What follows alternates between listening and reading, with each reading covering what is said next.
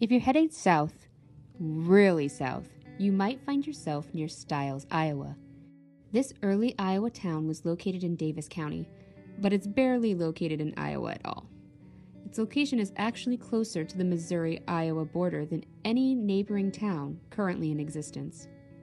It was platted around 1840 and believed to be named after Colonel Stiles S. Carpenter, a Davis County clerk and the first prosecuting attorney who served until 1857. The history of Davis County lays out in detail the workings of the town and the people who lived there.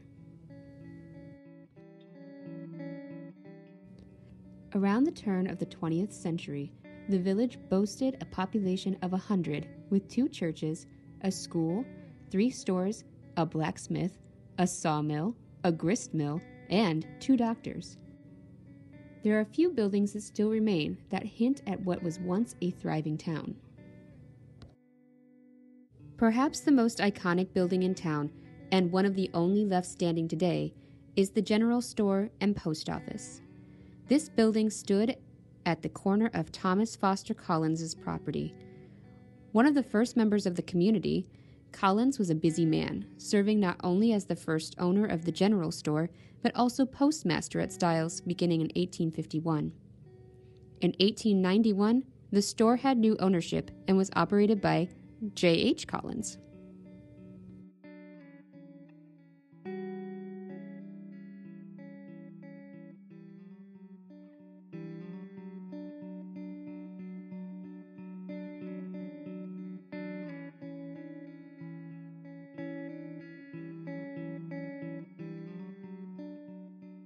Near the crossroads of Peach Avenue and 233rd Street, an old school building which stands today is forgotten by time. The school was originally located where the current Stiles Cemetery is located. In 1870, it moved to where it is today. In 1881, the school boasted 45 enrolled students with 24 pupils in regular attendance. The school building was also used as a civic center for the community meetings and gatherings. One of the town's doctors, Dr. James Dunlavey, was educated at this school. After getting his medical degree in Keokuk, he returned to Stiles to practice.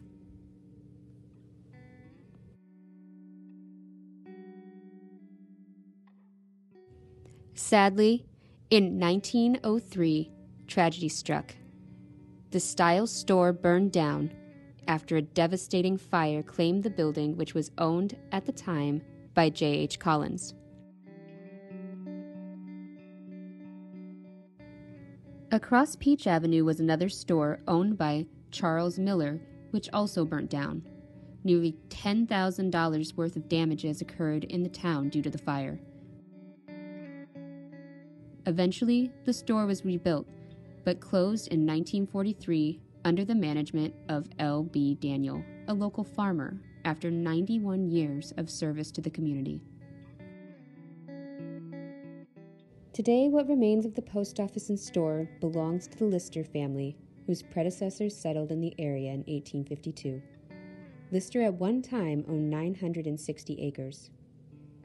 80 of those acres that were closest to Stiles were later divided amongst his sons.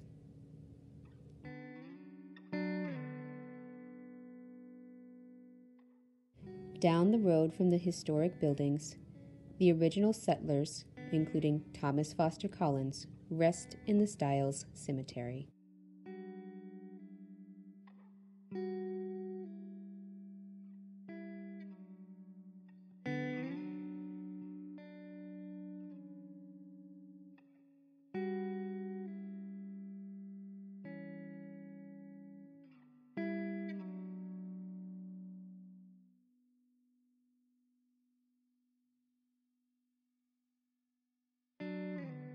Just a short drive from Cedar Rapids in Delaware County, situated in between Worthington and Dyersville on Highway 136, lives the remains of the once bustling town of Rockville, Iowa.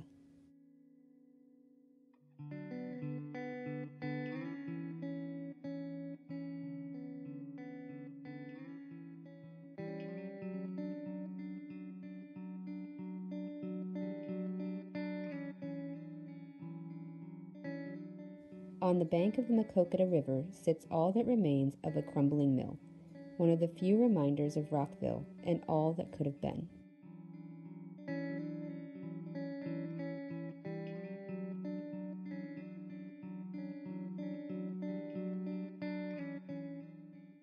Rockville was founded in 1845 by Oliver A. Olmsted when he built the mill. From there, the town began its boom, adding a post office in 1846. Being on the stagecoach route contributed greatly to Rockville's explosive growth. But, like many towns during this time, its true fate was tied to the railroad.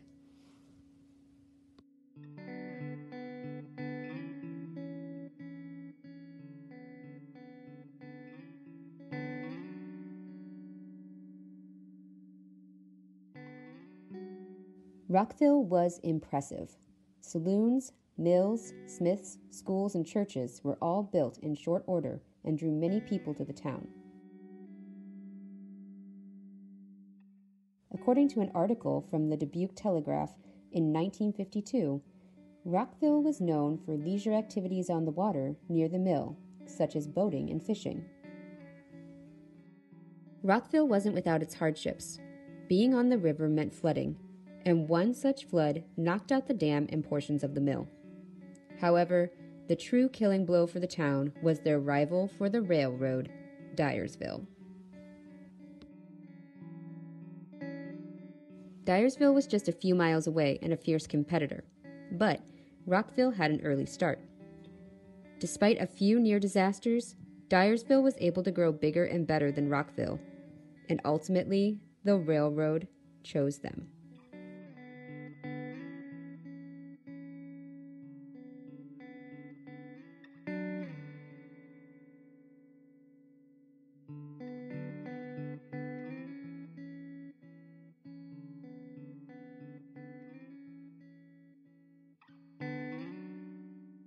It was a swift fall.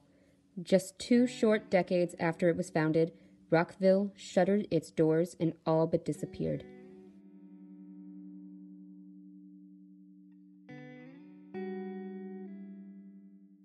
Today, you can barely see the collapsing old mill crumbling by the side of the river.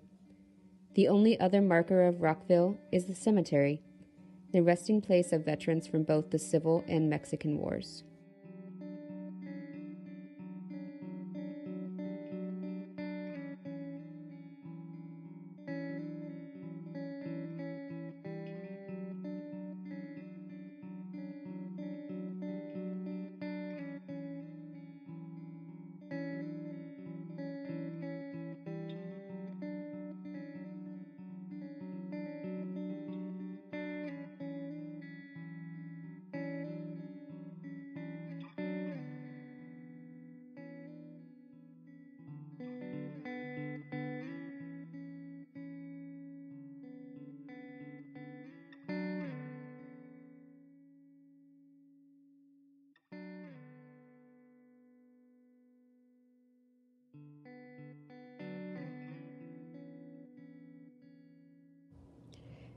Located in northeast Iowa, what's left of Buckhorn sits off a busy road.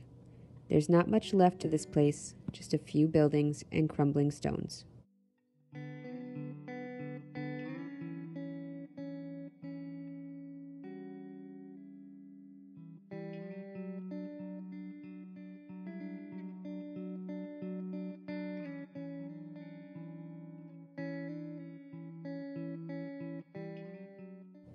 The town was a unique one. Its story is linked to Buckhorn Creamery and Velma Scott Teeple. In 1899, roughly 20 farmers in the area came together to form a cooperative. Velma's father, Hans Scott, was a co founder of the Farmers Union Cooperative Creamery in Buckhorn. As we'll soon see, Velma's life was tied to the town.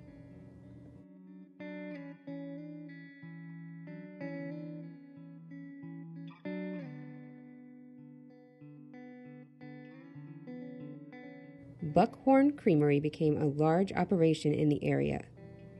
According to an article written by Kelly Gerlach, at its height, Buckhorn Creamery had 700 patrons supplying milk, and 11 milk haulers covering 17 routes. Suppliers came from Jackson, Jones, Dubuque, Cedar, and Clinton counties.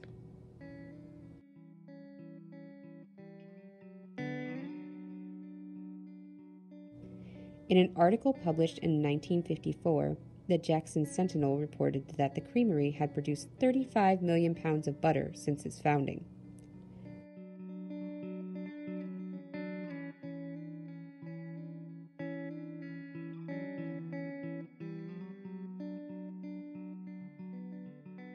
Buckhorn was enjoying a boom. People had happily settled in the area, including Velma's family. Sadly, this prosperous era couldn't continue forever. As large companies formed, Buckhorn Creamery's decline started. Butter stopped making a profit, and the creamery looked to cheese as the answer. But cheese making was not a long term solution, Gerlach writes. Buckhorn's board of directors merged with Mississippi Valley Producers in 1962. Everything was sold at auction the next year. Velma researched the histories of her farm community and decided to write about Buckhorn. Her book, Buckhorn, a memoir, was published in 2001 and is one of the only records of daily life in Buckhorn. Without these short 70 pages about Velma's life, much of Buckhorn's history would be lost. Thankfully, Velma was able to preserve the memory of Buckhorn for generations to come.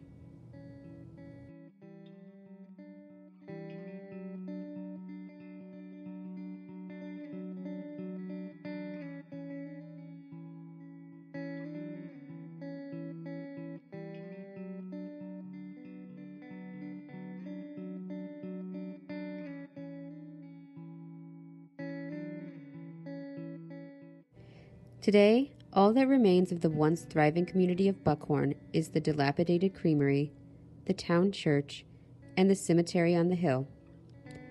A new life may be in store for the town, however, as it was recently purchased. Kelly Gerlach's article details the purchase and the history of the town beautifully.